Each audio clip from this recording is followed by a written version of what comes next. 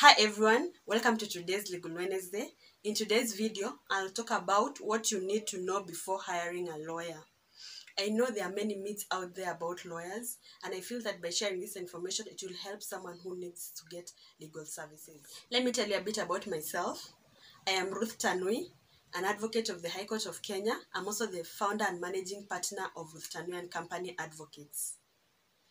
Today, I'm going to give you eight tips that you need to look out for before hiring a lawyer in Kenya. My first tip to you is first find out the credibility of the lawyer representing you. The first thing you should do is do research on the lawyer that is representing you to ensure that he's actually an advocate of the High Court of Kenya. This can easily be done by logging into the Law Society of Kenya website and key in, keying in the lawyer's name, or if you know the practicing number of the lawyer, you can also key in there to find out if he's is actually an advocate and if he's active in practice. My second tip for you is to discuss your legal fees from the beginning. Ensure that from the beginning, before you do anything with your lawyer, you have written down your agreement on your fees. This will help you avoid feeling that you've been you've been overcharged or, or feeling that you have paid more than you expected. So ensure uh, from the beginning you have written down your, your legal fees. My third tip for you is to get a legal opinion first. A legal opinion is whereby an advocate gives you an opinion of how your case is going to go if it's taken to court. The pro- in short, it just he'll give you the probability of your case, you winning or losing your case. So it's important for you to get that first. Remember, you'll be spending money to have this case handled. So ensure you first get a legal opinion. My fourth tip for you is to avoid non written agreements. To ensure that you secure your interests, ensure that you have a written agreement with your advocate. This will help in ensuring that your interests are taken care of and you don't so that you don't uh, if in case of any disagreement at least there's evidence to show what you had agreed with with your lawyer so it's very important to have a written agreement. My fifth tip for you is to ensure that you are up to date with your case. During practice i've realized that most clients make the mistake of assuming that the case belongs to the advocate. Remember this is your case. You're the one who have who has who has paid the advocate to prosecute your case. So ensure you're up to date with your case.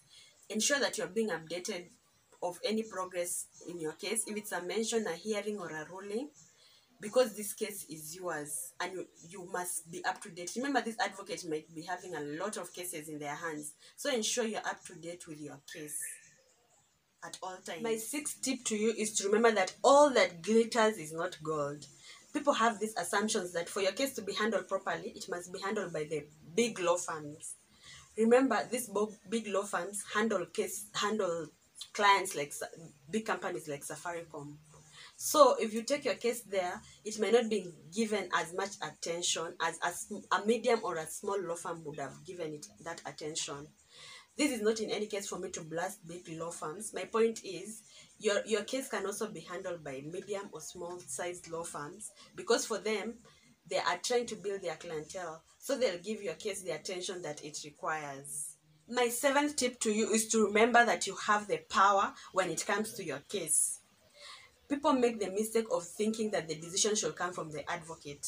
Remember the role of the advocate is to give his legal opinion his or her legal opinion on regards to the law.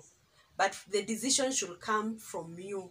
So ensure that you're the one making the decisions when it comes to your case. But of course with the guidance of the legal opinion from the advocate. My eighth tip to you is that not all advocates are evil people have this assumption that advocates are evil and some people make the mistake of opting to deal with non-advocates when it comes to legal matters.